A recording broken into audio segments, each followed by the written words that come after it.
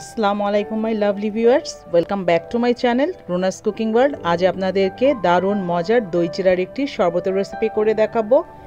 ইফতারিতে দই চিরার এই শরবতটি খেতে অসম্ভব ভালো লাগে। কথা না বাড়িয়ে চলুন তাহলে শুরু করা যাক। আজকের এই দই চিরা শরবতের জন্য এখানে আমি ওয়ান ফোর্থ কাপের মতো চিরা নিয়েছি। এই চিরাটাকে খুব ভালোভাবে ধুয়ে তারপর পানিতে ভিজিয়ে রেখেছিলাম। তারপর এটাকে পানি ঝরিয়ে নিয়েছি।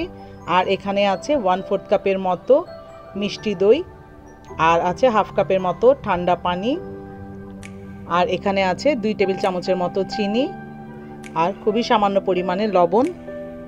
এখন এগুলোকে একটা ব্লেন্ডারের জারে নিয়ে নিচ্ছি।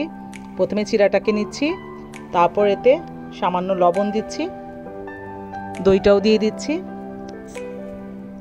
চিনি দিচ্ছি, আর এখানে অ্যাড করছি ঠান্ডা পানি।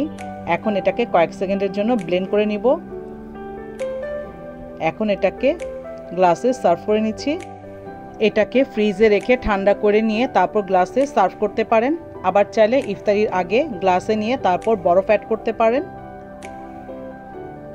এই তো রেডি হয়ে গেছে দারুণ স্বাদের দই চিরার শরবতটি। আশা করছি রেসিপিটি ভালো লেগেছে। ভালো লাগলে প্লিজ আমার চ্যানেলটি সাবস্ক্রাইব করবেন, সেই সাথে লাইক শেয়ার এবং কমেন্টসও করবেন। আর যারা অলরেডি করেছেন তাদেরকে জানাই অসংখ্য ধন্যবাদ। ফিরে আসছি পরবর্তী কোনো রেসিপি নিয়ে। সে পর্যন্ত সবাই অনেক বেশি ভালো থাকবেন। আল্লাহ হাফিজ।